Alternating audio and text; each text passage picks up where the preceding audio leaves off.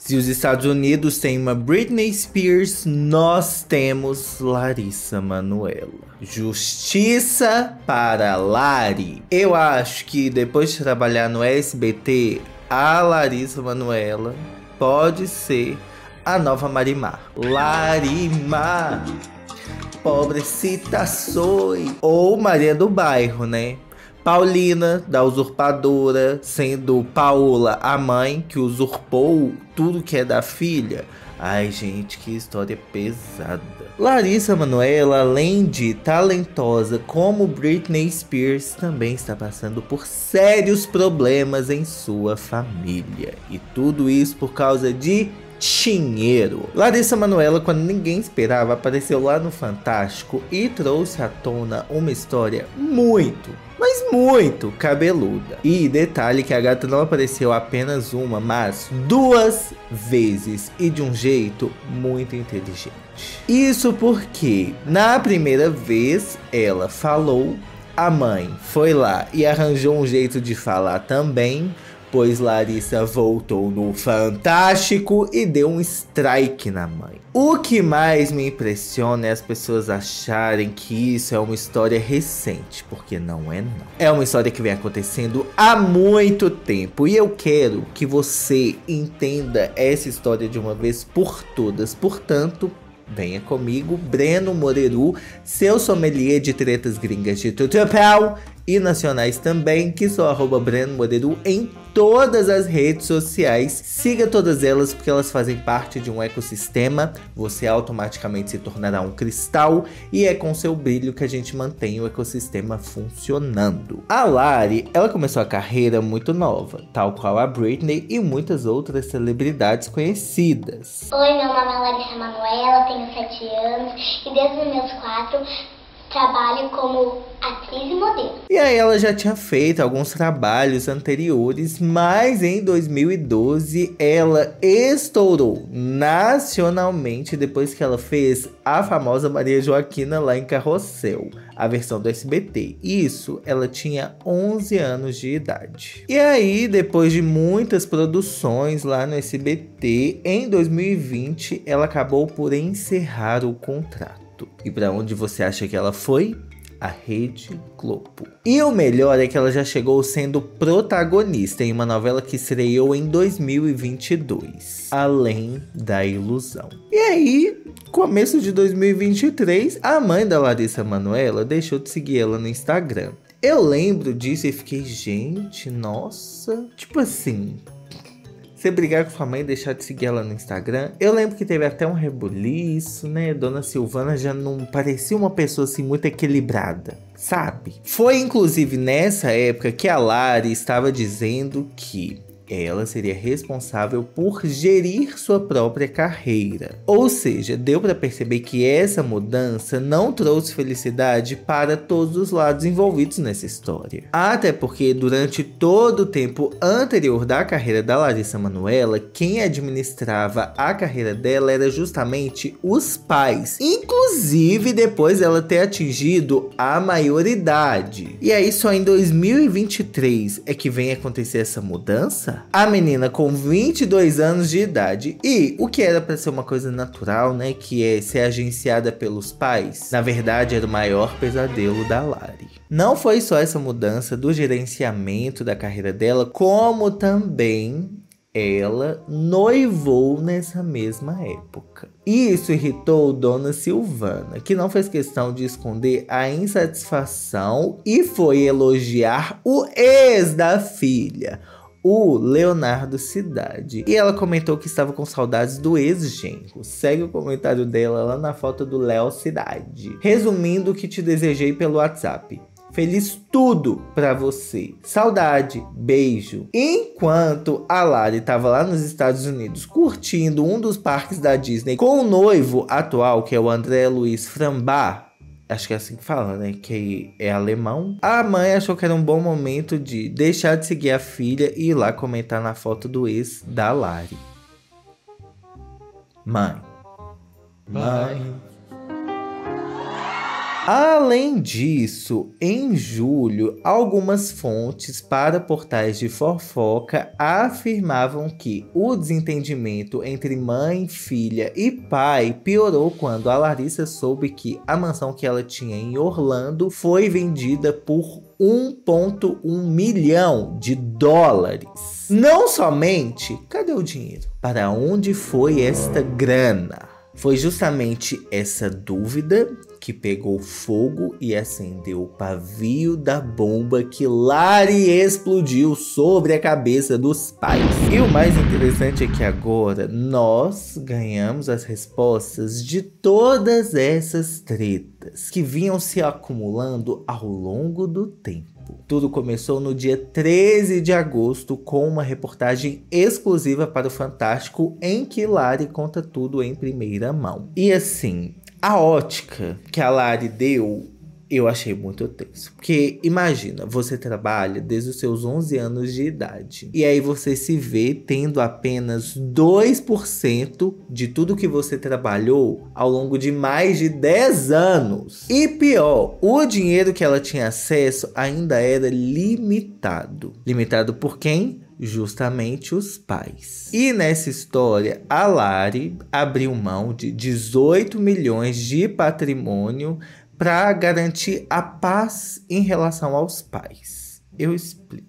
Eu vou ler aqui um trecho. A jovem pediu ao contador os contratos sociais das três empresas, gente, três empresas, das quais era sócia, e descobriu que tinha apenas 2% da cota em uma das empresas. Gente, três empresas. Na outra era a única sócia, mas os pais eram os administradores. E na terceira, uma holding dividida em três partes iguais para reunir todo o patrimônio que estava na primeira empresa, o que, segundo Larissa, nunca aconteceu. Ao Fantástico, Larissa diz que decidiu abrir mão de um patrimônio estimado em 18 milhões de reais Abre aspas agora da Lari. Esse momento que eu me encontro hoje é o mais difícil da minha vida. Sabendo que essa ferida, ela tá cicatrizando e que meus pais jamais vão deixar de ser os meus pais. Jamais vou deixar de amá-los. Ai, que triste, né, gente? Tipo assim, o que mais me choca nessa história é os pais, as figuras que deviam te proteger, cuidar de você, independente da fase da vida, são justamente aqueles que estão te distanciando de tudo aquilo que você construiu e conquistou e ainda infernizando a sua vida. Terapia neles ou cadeia. A atriz explicou que tinha que pedir autorização para os pais para fazer, aspas, qualquer tipo de pagamento, fosse uma passagem aérea ou a compra de algo mais supérfluo, mesmo depois de completar 18 anos de idade. Na reportagem, ela mostrou conversas gravadas que comprovam o rompimento da relação com a família. E teve a famosa história do milho. Gente, não é só por um milho, é muito mais que isso. É a nova campanha para Lari. Eis a citação da Larissa Manoela lá no Fantástico. Oi, pai, você consegue fazer uma transferência para minha conta para eu pagar um milho, um sorvete, um mate aqui na praia? Por favor. O Twitter principalmente se comoveu e encheu de memes, até sugerindo que a Maísa, que é amiga da Larissa Manoela, tinha feito um pix pra coitada comer o pobre do milho dela. Esse aqui, ó, a felicidade da Larissa Manoela comendo o milho que a Maísa fez o pix. Ai, gente, não é de rir. Até porque a menina era para ser milionária e viver só do bom e do melhor, né? E ser privada de comer um milho na praia. Enquanto isso, a mãe da Larissa só está postando frases religiosas e foto de santa. Ah, é a boa samaritana, né? Dona Silvana. Ô, oh, fia, eu sinto cheiro de cobra de longe. O texto começa assim: O inimigo pode até tentar, mas nunca vai te derrubar. Você pode até cair mas logo vai se levantar. Quem tem Maria como mãe tem sempre o amor de Jesus. E quem tem Silvana como mãe? A Folha de São Paulo, inclusive, chamou a dona Silvana, que de santa não tem nada, para uma entrevista. E aí ela disse o seguinte, abre aspas. A nossa única intenção como pais ao constituir as empresas, foi blindar o patrimônio da Larissa contra terceiros. Até porque, né, vocês queriam o quê? Concentrar a riqueza da menina em suas mães. E depois que ela atinou, vocês ficaram putinho da vida. Nunca quisemos ficar com nada dela. Mona. Então por que, que fez tanta questão de construir três empresas? Nada foi feito, nenhuma decisão foi tomada sem o conhecimento e o consentimento dela. Queria que ela me escutasse de fato como a mãe dela a pessoa que a ama e sempre amará. E aí lembra que eu falei que a dona Silvana deu uma entrevista pro SBT e aí eu já achei trairagem, porque o SBT foi a casa que a Larissa Manoela praticamente cresceu enquanto esteve na TV. E agora eles chamam a mãe. Eu achei de um revanchismo, uma vingancinha barata, porque agora a Larissa Manoela está na Globo, sabe?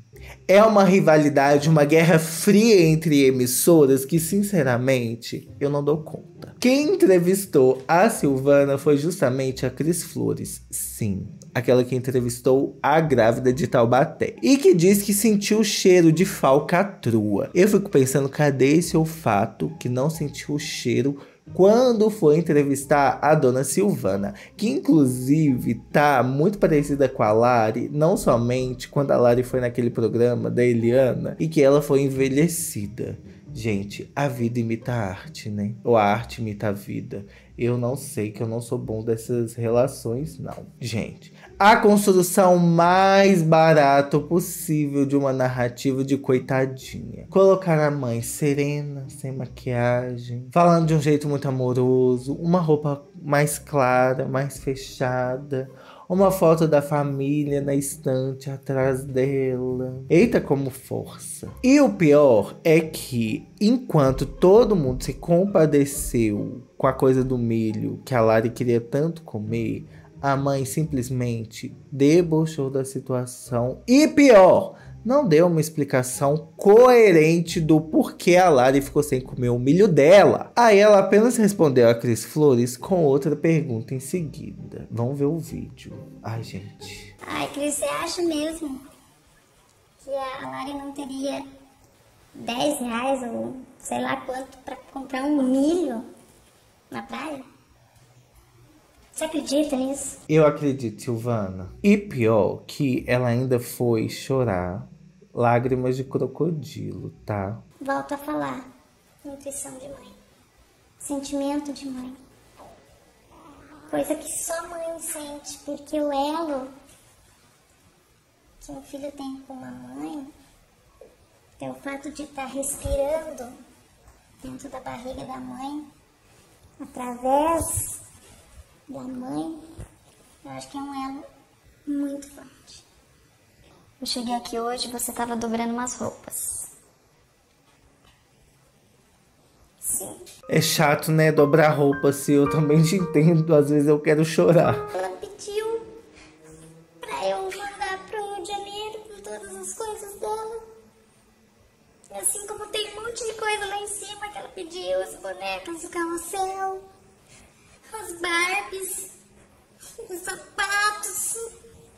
Nossa, eu nunca vi um choro mais forçado na minha vida. Não, e ela ainda teve coragem de ler uma carta. Ai, meu Deus. Sobre mesmo me carregou em sua barriga, fazendo com que eu sentisse que lá era meu aconchego, lugar onde eu poderia estar protegida e poder sentir todo esforço.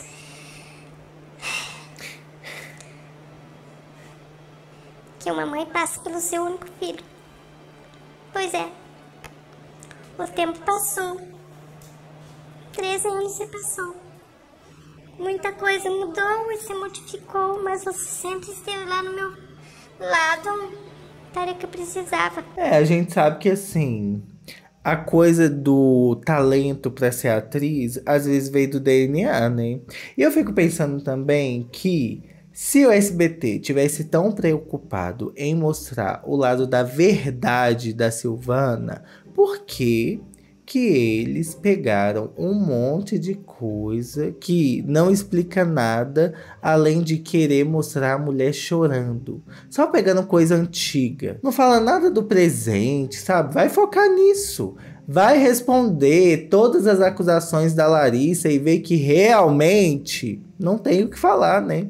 Que a menina tá certa e os pais estão usurpando a fortuna da filha. A Cris Flores, gente, ela tá ganhando muito bem, porque ela falou assim: eles têm muitas provas, mas o amor de mãe e de pai prefere que eles continuem com essa versão ao público por receio de prejudicarem a filha. Se tem prova, mostra. Ao invés de ficar lendo cartão de 2014. E o pai é mais frouxo ainda, porque ao invés de falar alguma coisa que presta, fica postando frase motivacional lá no Instagram. Guarde essa frase e leve ela para sua vida. Quebrado ou inteiro, você continua na mão do oleiro. Que oleiro? Nos melhores e nos piores dias, a mão dele continua sobre sua vida. E a mão de vocês vai continuar, ó, na fortuna da Lari? Não. Não! Tem inclusive, gente, a Larissa Manoela, ela não é inocente. O Fantástico, ele não é inocente. No domingo seguinte da primeira entrevista, no dia 20 de agosto, veio mais uma parte dessa novela de terror. A mensagem, o conteúdo da mensagem e o jeito que a mãe respondeu a Larissa Manoela é assustador e quebra a imagem de boazinha que a dona Silvana estava tentando construir. A Lari mandou uma mensagem que aparentemente foi na época de Natal, falando sobre reestruturar a família, permanecer junto, independente de tudo. E ainda terminou assim, ó: "Sinto falta da minha melhor amiga. Tô aqui para quando você quiser. Uma linda noite de Natal." E a dona Silvana responde assim: "Vá merda, vai. Esqueça que eu sou sua mãe." Nem li sua mensagem e já paguei. Você fez as suas escolhas e eu também. A mãe da Lari lendo igual a Inês Brasil aqui, ó. Ah lá, nem vou ler. eu tô rindo, mas. é ódio. E pior, tem outra mensagem que a dona Silvana fala assim: para você, eu só vou ser o título de mãe. Nossa, gente. A cara de quem faz coisa ruim não engana. E tem mais prints. Dessa vez a gente tem também a participação do pai. E mostra que, mesmo com o cartão que a Lari tinha em mãos, as compras dela, com o cartão dela, deviam ser aprovadas pelos pais. E aí criava essa sensação de falsa liberdade, ou seja, tudo para que os pais pudessem ter e acumular o máximo de dinheiro possível vindo do trabalho da filha. Gente, o próprio dinheiro que a menina fez, ela recebia uma parte em forma de mesada e ainda assim a mesada era muito limitada. Aí ela manda assim: pai, vou comprar, tá? Tô precisando de um Scarpan e esse modelo só tem aqui. 854, vou passar o Amex. Aí ele: consegue passar no seu cartão Infinity da conta nova?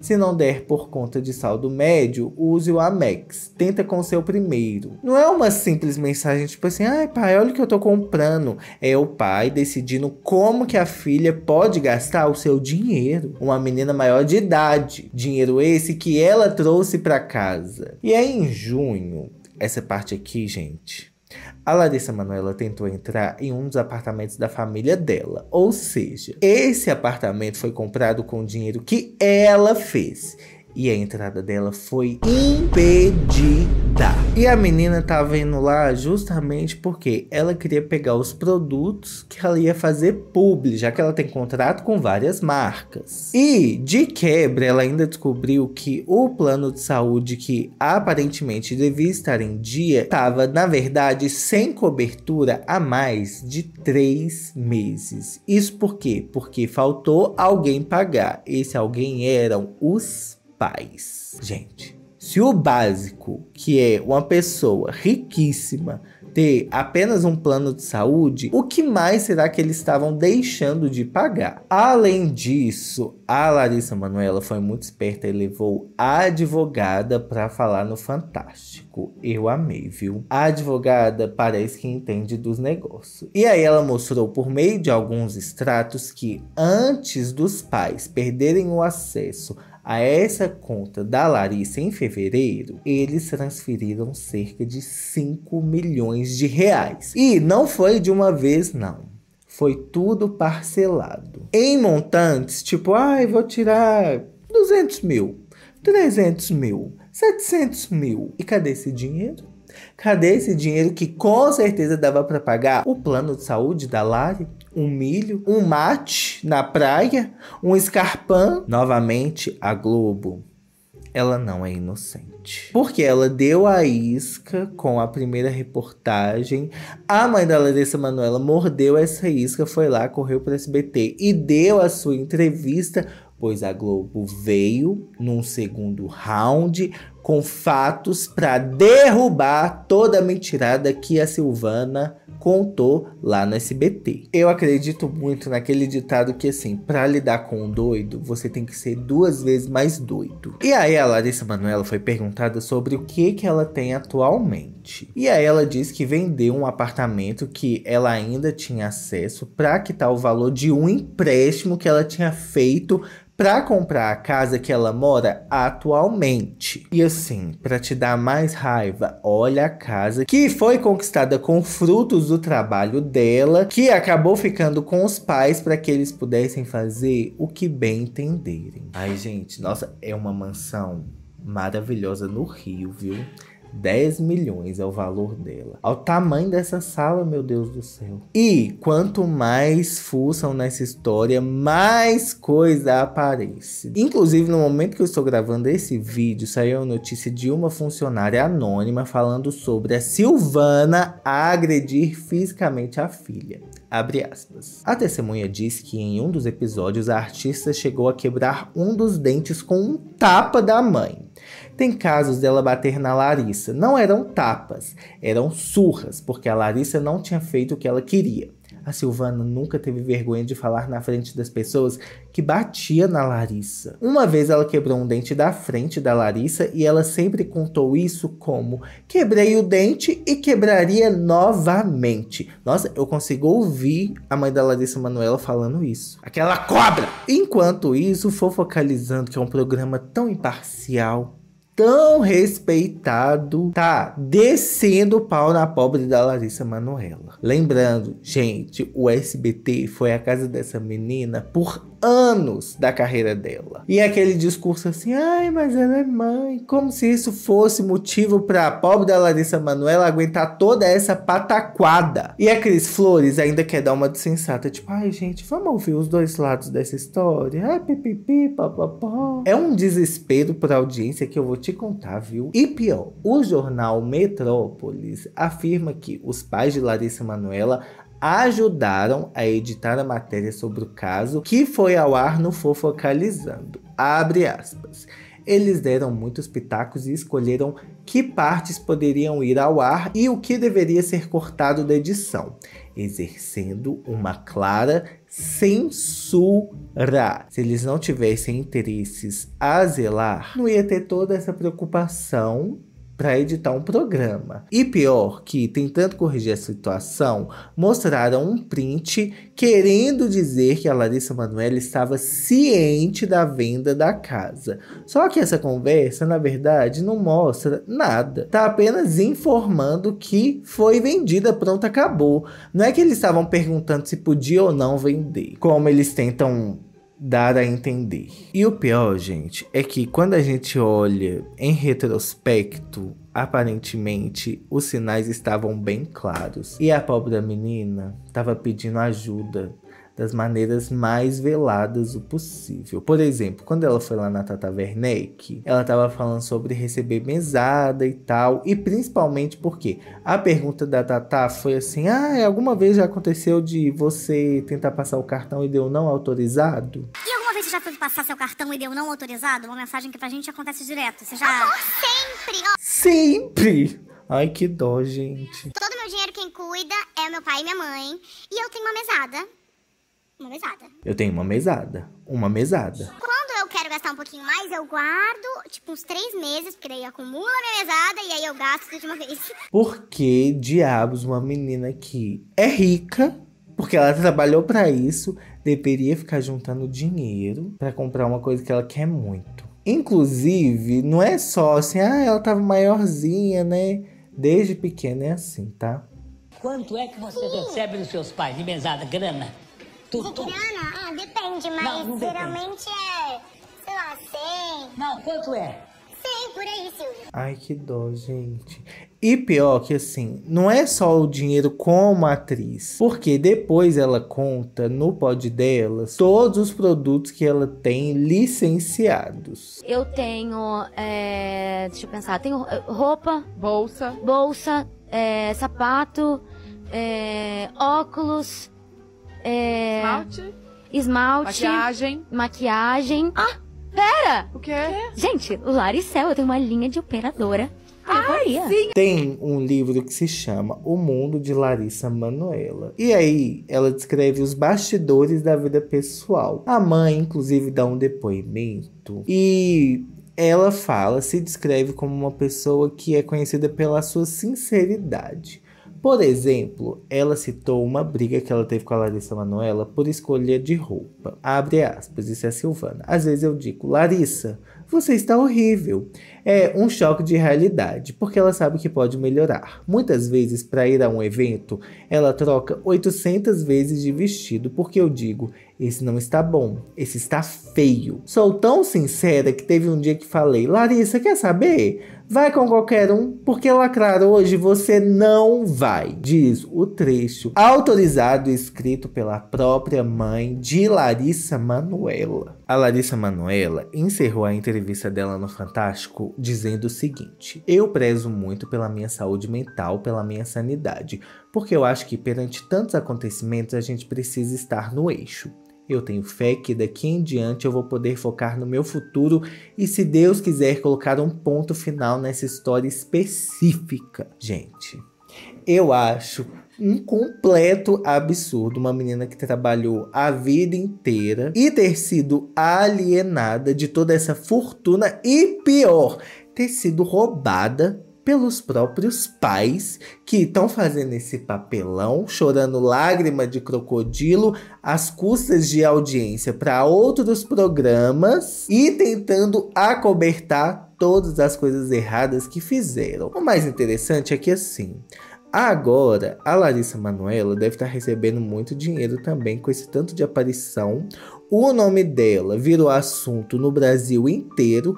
Todo mundo só fala disso e os pais dela também devem estar recebendo um dinheiro, né? Eu acho que não é uma jogada assim de marketing, que realmente ela deve estar passando por uns problemas sérios, porque assim, não é uma coisa de agora. O controle financeiro é de anos. E pior, ainda tem gente falando que o pai estaria financiando casos dele com outras mulheres às custas do dinheiro da filha. Quanto mais mexe nessa piscina de bosta, mais vai fedendo. Eu te pergunto, tem como piorar? Tem com certeza. Como? É o que eu quero saber. E no mais, Cristal, muito obrigado pela sua companhia e te espero no próximo vídeo, neném.